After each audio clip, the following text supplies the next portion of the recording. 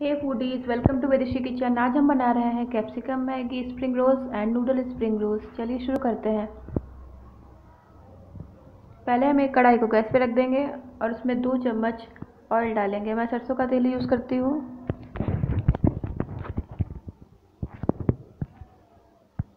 तेल गर्म हो जाने के बाद मैं इसमें प्याज डाल रही हूँ।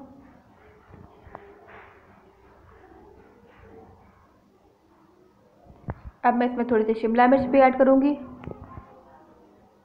अब हम इसे अच्छे से मिक्स कर लेते हैं।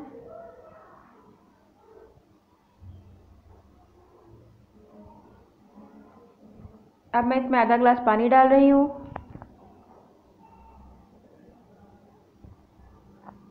ये मैंने नूडल मसाला लिया है, वो मैं इसमें ऐड करूँगी। अब हम इसे अच्छे से मिक्स कर लेते हैं।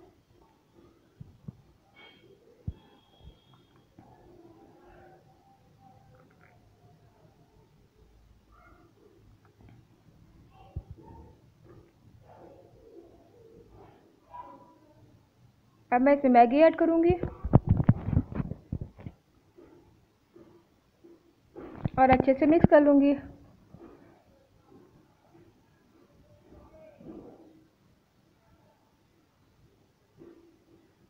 दो से तीन मिनट में हमारी मैगी बनके तैयार हो जाएगी।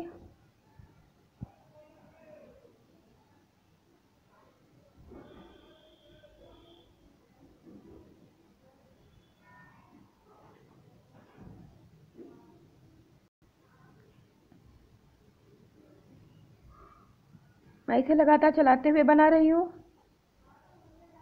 अब मैं इसमें चिली फ्लेक्स डालूँगी। और अच्छे से मिक्स कर लूँगी। हमारी मैगी तैयार हो चुकी है, अब हम इसे एक प्लेट में निकाल लेंगे।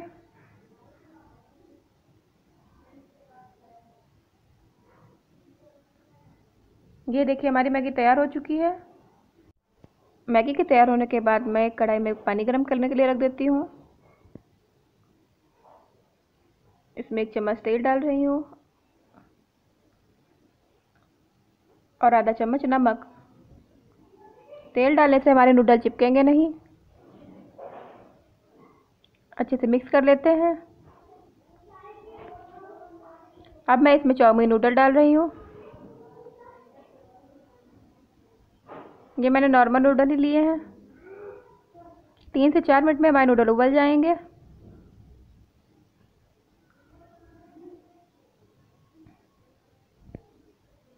अच्छे अच्छे से चलाते हुए मिक्स कर लेंगे।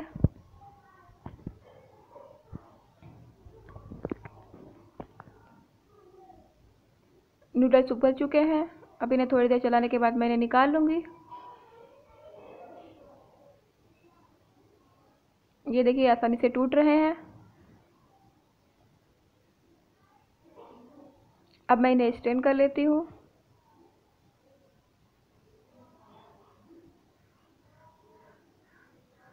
और इनके ऊपर एक गिलास ठंडा पानी डाल देती हूँ।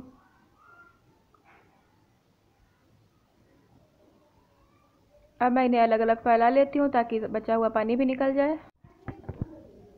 गैस ऑन कर लेते हैं, उस पर कढ़ाई को रख देते हैं। अब हमने नूडल्स बनाएँगे। इसके लिए मैंने लिए हैं ऑयल। ये मैंने तीन चम्मच ऑयल लिया है। अब हम इसमें लहसुन और प्याज ऐड करेंगे।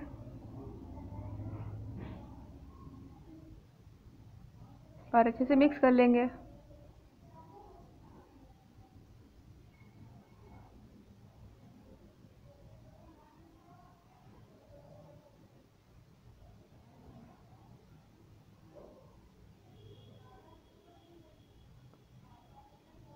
अब मैं इसमें शिमला मिर्च ऐड कर देती हूँ।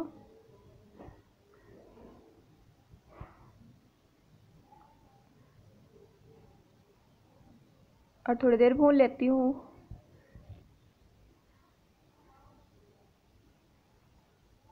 हम इसमें आधा चम्मच नमक डाल देंगे ताकि हमारी सब्ज़ियाँ जल्दी से गल जाएँ।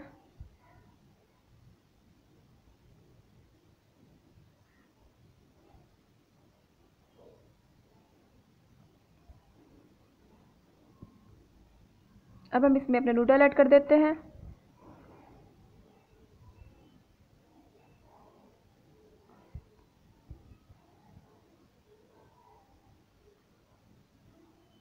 और अच्छे से मिक्स कर लेते हैं।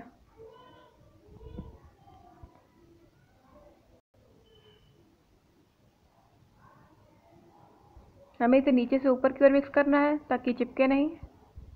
अब मैं इसमें एक चम्मच सोया सॉस डाल रही हूँ।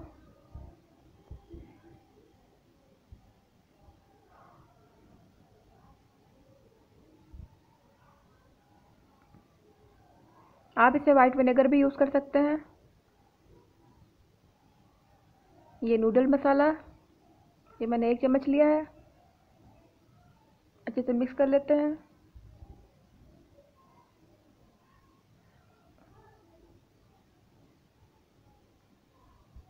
Chilli flakes.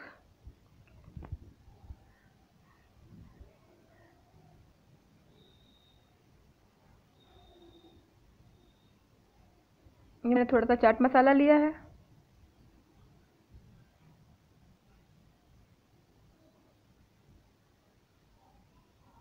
हमारी चाउमीन रेडी हो चुकी है, अब हम इसे एक प्लेट में निकाल लेते हैं।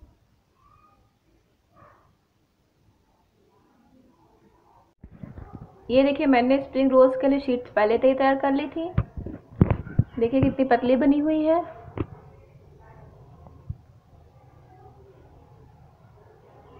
अब मैं पहले नूडल स्प्रिंग रोल बनाऊँगी।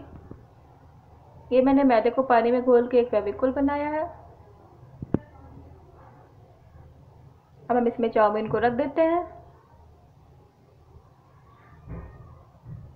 और इसके चारों तरफ़ फेविकोल लगा देते हैं।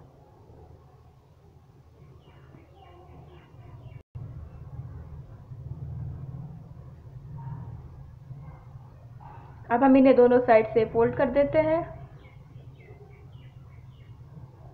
और यहाँ पे फेविकोल लगा देते हैं। अब हम इसे रोल कर लेंगे।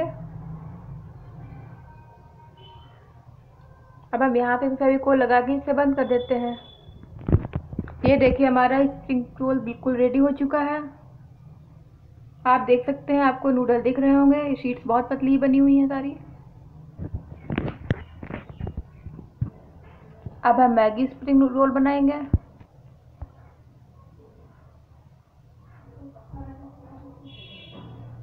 इसके लिए मैंने मैगी को लिया है।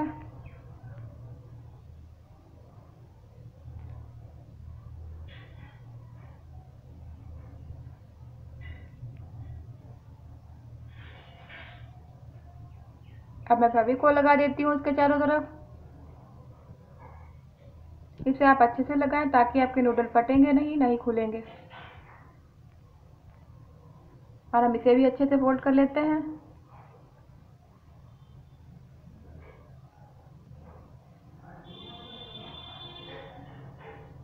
अब हम इन्हें रोल कर लेंगे। और इसे बंद कर देते हैं। ये लीजिए, हमारा मैगी स्प्रिंग रोल भी रेडी हो चुका है।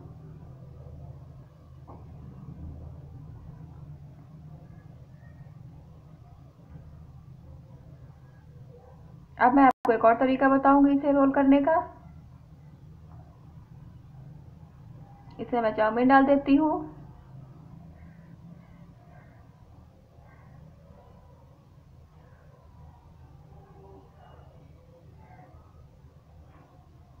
और अच्छे से मैं भी को लगा देती हूँ।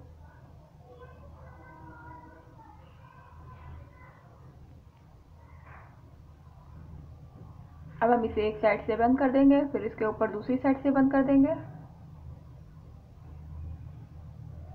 और बाकी बचे हुए कोनों को भी चिपका देंगे। ये देखिए, इस तरीके से। हमारी स्प्रिंग रोल पॉकेट रेडी है। आप चाहें तो इस तरीके से भी बना सकते हैं। मैंने सारे स्प्रिंग रोल बना लिए हैं। अब मैं कढ़ाई में घी गरम करूँगी।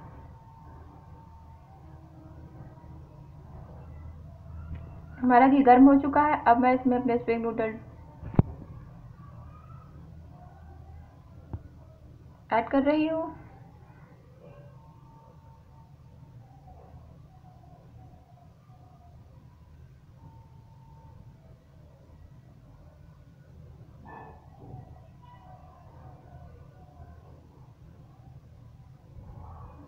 ये धीरे धीरे गोल्डन ब्राउन हो रहे हैं।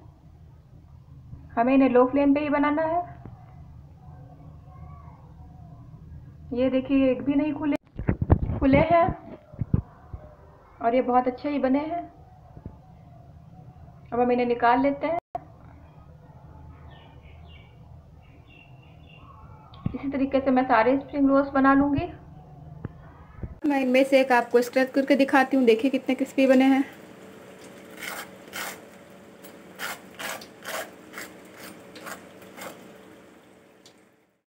अब मैं आपको मैगी स्प्रिंग रोल कट करके दिखाती हूँ। ये देखिए कितना सुंदर बना है। अब हम आपको नूडल स्प्रिंग रोल भी कट करके दिखाते हैं। देखिए कितना अच्छा बना है। हमारे दोनों स्प्रिंग रोल्स बहुत अच्छे बने हैं।